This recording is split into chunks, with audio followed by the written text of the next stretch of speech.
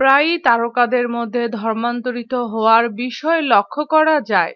বলিউড তারকারা এক্ষেত্রে আরও এগিয়ে। বলিউডের বেশ কয়েকজন তারকা রয়েছেন যারা নিজের ধর্ম ত্যাগ করে ইসলাম ধর্মে দীক্ষিত হয়েছেন।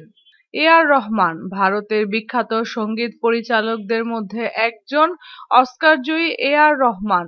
সংগীত জগতে সারা বিশ্বের কাছে এক নামেই পরিচিত তিনি। কেরিয়ারের শুরুতে তিনি হিন্দু ধর্মাবলম্বী ছিলেন। তার পূর্বের নাম ছিল এ এস দিলীপ কুমার। সুফি সঙ্গীতের প্রেরণা থেকে ইসলামের প্রতি আকৃষ্ট হন এ আর রহমান। উনিশশো চুরাশি সালে তিনি ইসলাম ধর্ম গ্রহণ করে দিলীপ কুমার থেকে আল্লাহ রাখা রহমান, অর্থাৎ এ আর রহমানে পরিণত হন। মমতা কুলকার্নি, নব্বইয়ের দশকে বেশ কয়েকটি হিন্দি সুপারহিট ছবির নায়িকা মমতা কুলকার্নি। অভিনয়ের পাশাপাশি তার সৌন্দর্য দুটি ছড়িয়েছে। মমতা কুলকার্নি হঠাৎ করেই পর্দা থেকে উধাও হয়ে যান। পরবর্তীতে কারণ হিসেবে দেখা গেছে, দুই সালে মমতা মুসলিম প্রেমিককে বিয়ে করে ইসলাম ধর্ম গ্রহণ করেন।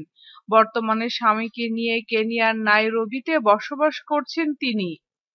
মনিকা, ইসলামের জীবন দর্শন দ্বারা প্রভাবিত হয়ে ইসলাম ধর্ম গ্রহণ করেন দক্ষিণ ভারতের জনপ্রিয় অভিনেত্রী ও তারকা মনিকা। গত তিরিশে মে মুসলমান হবার পর তিনি নিজের জন্য নতুন নাম পছন্দ করেছেন। নাম রেখেছেন এম জি রহিমা।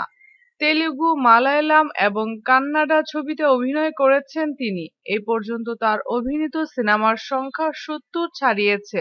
যদি আমাদের ভিডিওটি আপনাদের ভালো লেগে থাকে তাহলে অবশ্যই লাইক করার অনুরোধ রইল। ধন্যবাদ।